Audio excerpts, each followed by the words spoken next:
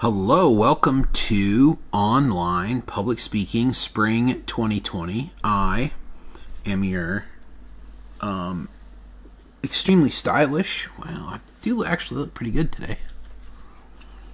Let me make sure I'm appropriate for the camera here.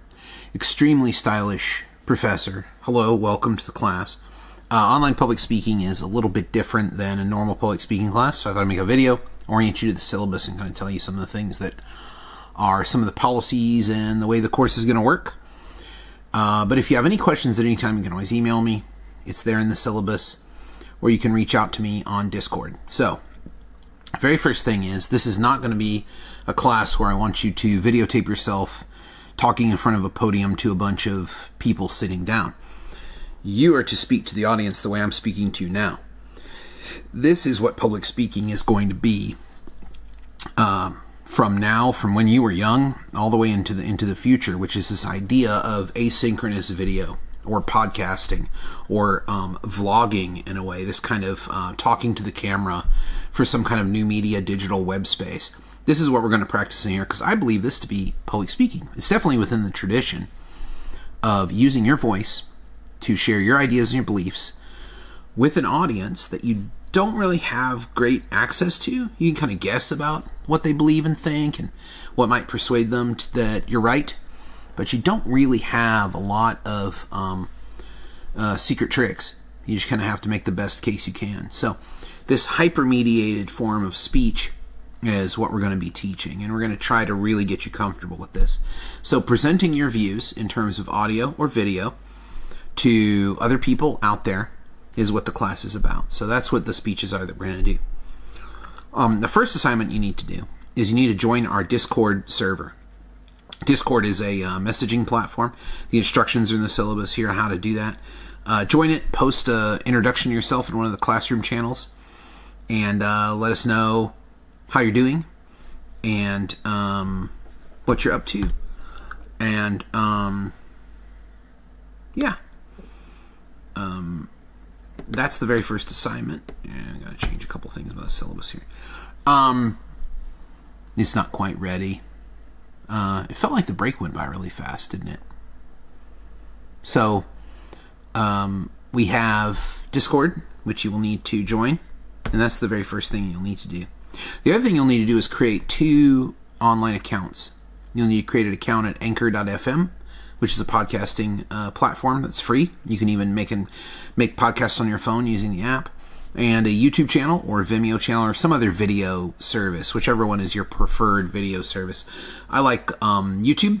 I know a lot of people have problems with YouTube because of the um, privacy and because of the ad revenue and things like that. But it's actually a pretty useful and easy way to host videos. If you want to do just audio, just podcasting, You'll need the Anchor FM account, but you need both because I'm going to require you to do um, to do both uh, at some point uh, during the uh, the term. So make sure you have both accounts, and then you will be ready to go. The way that you submit your speeches on Discord and on Canvas is through the share link. Don't just copy the website in the um, in your browser and paste it, you're logged into that site. You're uploading. So if you're logged in, that's the that's the URL for your logged in site. We're not going to be able to access that. You have to click the share button, and I put pictures in the syllabus about that too. Um, and the due dates are there, and don't uh, do not wait until the end of the class to submit everything. Sometimes people will do that. They'll just be like, "I'll just submit them on the last day." No, uh, the way the course works is it builds and every single speech that you do, every presentation you do, you're going to get a lot of feedback from me, and then that'll help you do even better next time. And so each speech kind of builds. And as each speech builds and gets better, you'll get better at this and you'll start to think about it a little bit differently and maybe make some adjustments to improve your ability to present well. Um, what else? I mean, we're asynchronous online, so there's not really a lot of like attendance stuff to worry about. Um, we will have some quizzes from time to time. I'll let you know when those get posted. Um, and the rubric for how to do all the speeches at the very end of the syllabus. And there's also more specific rubrics that I put onto uh, Canvas in the different modules for um, the different assignments. And if there's one that's very specific, then you'll be given that one too. But there shouldn't be. You have the freedom to speak about anything you want in this course. If you're looking for ideas, I have some ideas I can share with you.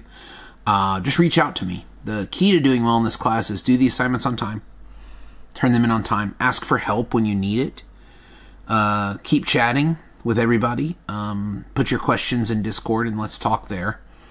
And uh, I'll be producing some videos to help you do well on speeches. So watch for those.